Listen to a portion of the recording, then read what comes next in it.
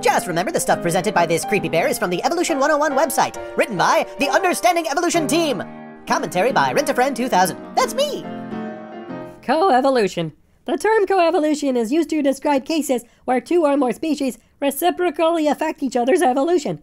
So, for example, an evolutionary change in the morphology of a plant might affect the morphology of an herbivore that eats the plant, which in turn might affect the evolution of the plant, which might affect the evolution of the herbivore, which might affect the evolution of the plant, which might affect the evolution of the herbivore, which might affect the evolution of the plant.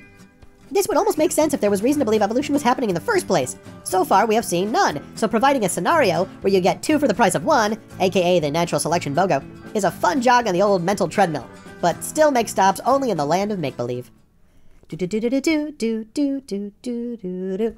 For all of this to matter to the overall scheme of evolution, they need a mechanism by which information is added to the genomes of both species, making it at least twice as unlikely to happen by mutations. If you tear pages out of the Green Eggs and Ham and Peter Rabbit, you will not end up with Lord of the Rings and The Hobbit.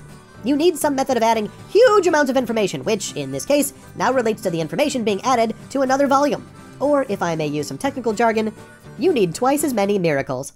Coevolution is likely to happen when different species have close ecological interactions with one another. These ecological relationships include predator prey and parasite host, competitive species, mutualistic species. Plants and insects represent a classic case of coevolution, one that is often but not always mutualistic. Many plants and their pollinators are so reliant on one another, and their relationships are so exclusive, that biologists have good reason to think that the match between the two is the result of a coevolutionary process. Let me translate. These plants and insects need each other to survive, almost as if they were designed to work together as two parts of a system, like a lock and a key. But since a lock and key imply a locksmith, we reject that out of hand because we believe in evolution. Somehow a plant and an insect, which need each other for survival, were naturally selected to survive over the plants and insects, which were not so dependent. Yes, you heard me. On this view, natural selection rewards codependence over adaptability and independence. This is very much how sales of the DVD remote, which requires you to have a TV remote, a stereo remote, and a CD changer remote, eclipsed sales of the universal remote, which contains all of those functions. Oh, wait. No, it didn't, because that would be inexplicably stupid. But we can see exclusive matches between plants and insects even when pollination is not involved. Some Central American acacia species have hollow thorns and pores at the base of their leaves that secrete nectar. These hollow thorns are the exclusive nest site of some species of ant that drink the nectar. But the ants are not just taking advantage of the plant, they also defend their acacia plant against herbivores. This system is probably the product of coevolution. The plants would not have evolved hollow thorns or nectar pores unless their evolution had been affected by the ants, and the ants would not have evolved herbivore defense behaviors unless their evolution had been affected by the plants. So they each developed structures and behaviors which were beneficial because of the structures and behaviors the other one was going to evolve in the future? So now evolution is planning ahead. Now the genetic information in both organisms has to accidentally increase so as to result in the structures and behaviors which will be beneficial when the other makes changes in the future. Remember when they said this? Natural selection is the simple result of variation, differential reproduction, and heredity. It is mindless and mechanistic.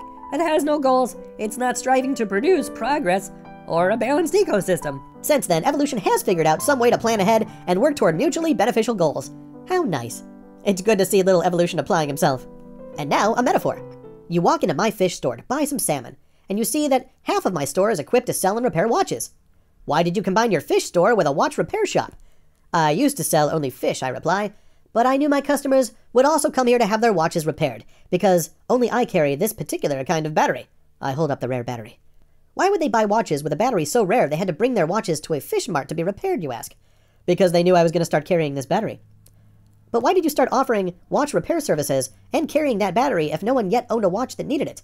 Because I knew that if I spend time and money to have a watch repair business here and offered that battery, they would change their habit of taking their watches elsewhere and start buying watches which need this rare battery, and then they'd bring them to my fish mart. And look, now half of my business is watch repair.